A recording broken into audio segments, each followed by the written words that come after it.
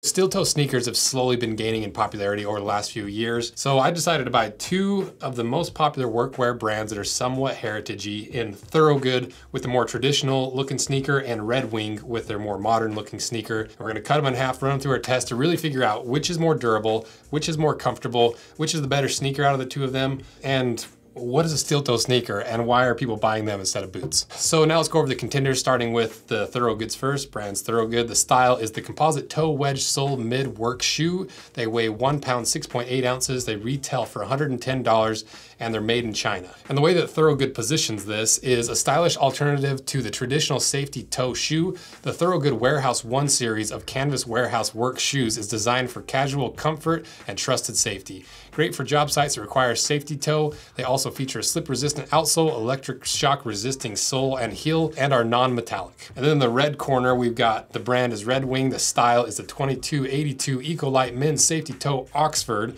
Both need to work on their naming schemes here. They weigh one pound, so a good amount less than the Thorogoods. They retail for $220, so twice the price of Thorogoods, and they're made in Vietnam. And the way that Red Wing positions this shoe is dial in the perfect fit in this eco-friendly, incredibly light and comfortable Oxford with a BOA fit system. From top to bottom, it incorporates renewable resources and renewable materials. The flexible, breathable upper is made of 50% discarded plastic bottles, while the midsole is made with renewable sugarcane and offers extra cushioning for all-day comfort. Underneath the Eco Step is a Vibram outsole is made with 30% recycled rubber and delivers best-in-class slip and abrasion resistance combined with electrical hazard protection and an aluminum safety toe. That's the first time I've ever even heard of an aluminum safety toe. This boot is ideal for light-duty work in warehouse, delivery, manufacturing, and services. So now start comparing these shoes, starting with the uppers first.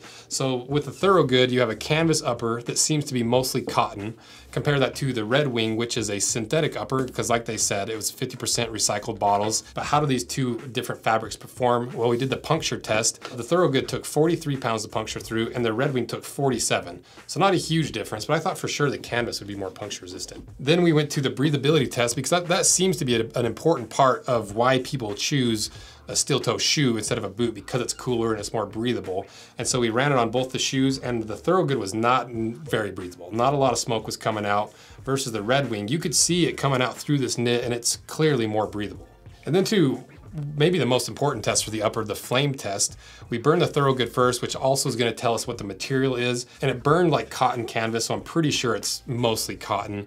And it was fairly self-extinguishing compared to the Red Wings, which we know it's, it's, plastic, it's plastic bottles, so it just melted and it just did not perform well. So out of the two of these, if you're around sparks at all or any flame, you might wanna stay away from these more synthetic uppers like the Red Wing and go more towards uh, canvas. But ultimately, both are not fire resistant in any way, and so you might wanna go with a leather sneaker.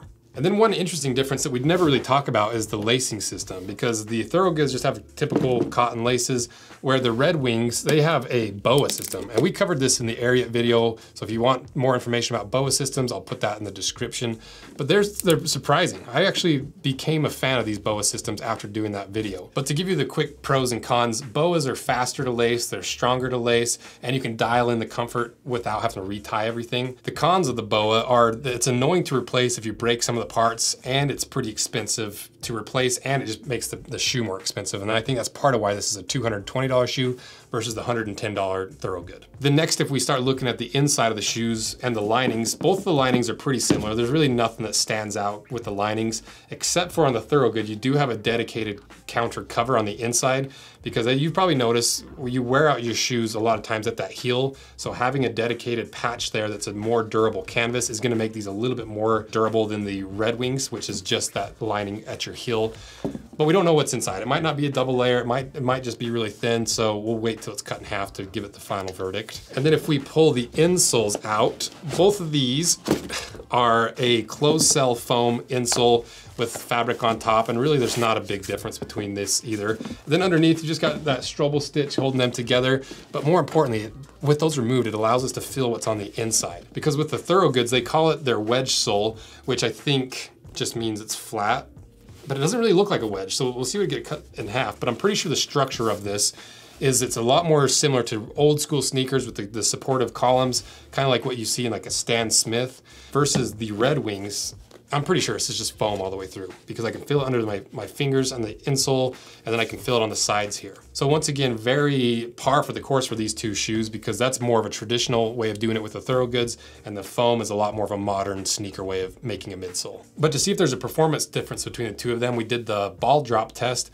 and both of them scored right around 13 and a half inches. And that's obviously from the inside, it's just a little ball bearing, but it still kind of surprised me. I thought for sure that the, the Red Wing would be more responsive because it's mostly foam. And then if we look at one of the most important parts of a work shoe, which is the outsole, looking at the Thorogoods, this is an ASTM shock resistant, electrical resistant outsole. It's ASTM slip resistant and it's 100% non-metallic all the way through the shoe. The Red Wing, on the other hand, is the EcoStep outsole by Vibram, which is a reputable brand.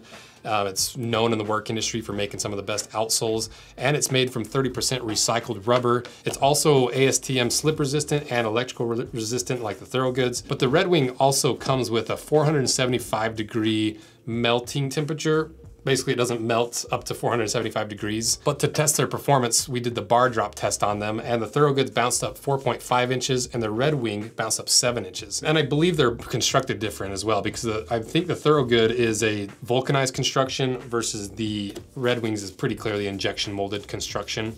And we haven't even covered the most important part because this is a steel toe shoe and we haven't tested the steel toes. So we wanted to get, bring out the uh, what do we call it? The, the Project Farm Schmiatine that we ripped off from Project Farm, and test both of these steel toes because they're not steel toes. They're both alternatives to steel toes, which the Thorogood is a composite toe and the Red Wing is an aluminum toe. I didn't even know they made aluminum toe like safety toes. And they both meet that ASTM standard for safety toes.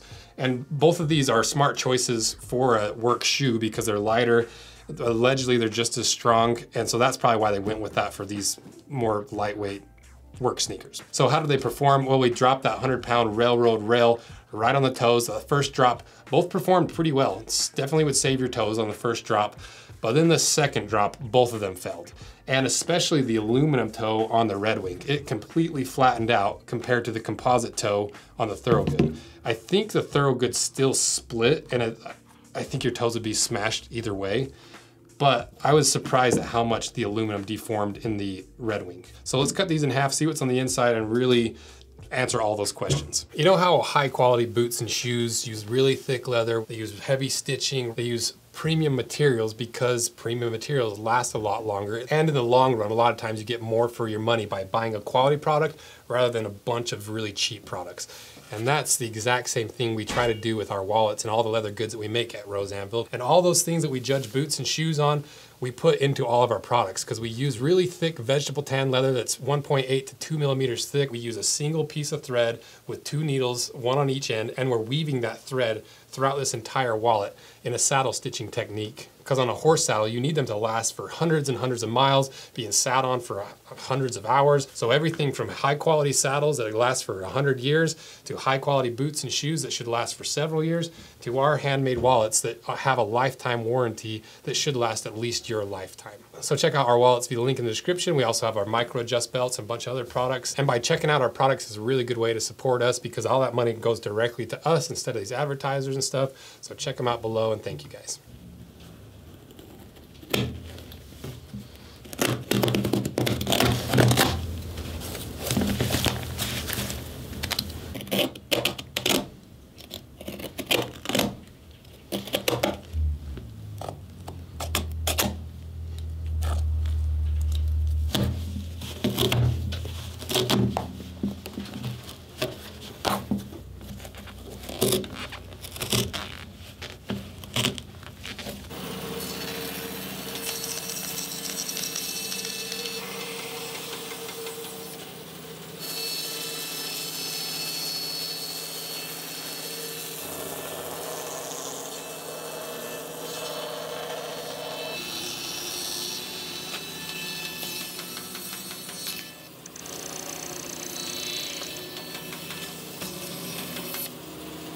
Okay, we got them both cut in half, and if you're not subscribed, consider doing that because that's how we afford to pay for two, sometimes four boots a week or shoes a week to cut in half.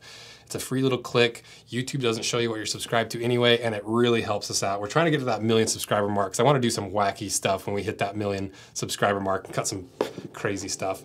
So let's see what's inside.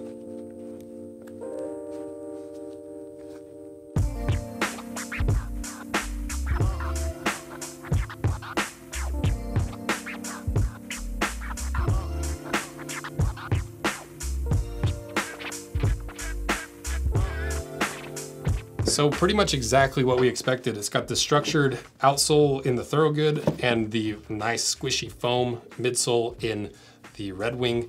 So now to the question, which is more durable?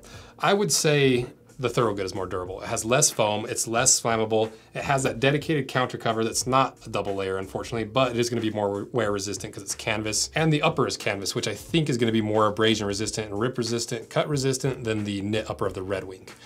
But which is more comfortable? I think the Red Wing is it's actually a very comfortable boot, especially for a steel toe. Steel toes are just notoriously uncomfortable, but with all that foam underneath, it's it's pretty comfortable. What about which is the better sneaker? Well, I think the Red Wing is pretty well through and through, but it's also twice the price, which brings us to the next question, which is best for the money, $110 versus $220? The Thorogood is better for your money. You're probably gonna get just as many wears. It might not be as comfortable, but for half the price, you could buy two of these for the price of one of the Red Wings. And then finally, what would I wear? I, would do the Red Wing because even though it's twice the price, sometimes uh, comfort is worth the price. 220 bucks is a lot for a, a, knit sneaker that's a steel toe that's inherently uncomfortable, but it's as comfortable as you can make it. But there's a good argument to be made that the Thorogood is a better deal and that I might do that because I almost rather have two pairs and alternate between them so they can keep the smell away, they can dry out. So honestly, neither a bad choice. It just depends on what you want and what you need and how much money you have to spend. Overall, between these two sneakers, if you have the money and you're looking for comfort, get the Red Wing. If you are on a budget and you want that the features and benefits of a steel toe sneaker, the Thorogoods seem to be a really good option that's half the price of the Red Wings. So let me know what you guys think, and if you've owned either of these or both of these, put your experience in the comments because it's a great resource for people who are buying these not just as footwear, but as a tool to perform their job day in and day out, and that's why I like doing this style of video. So thank you guys. See you.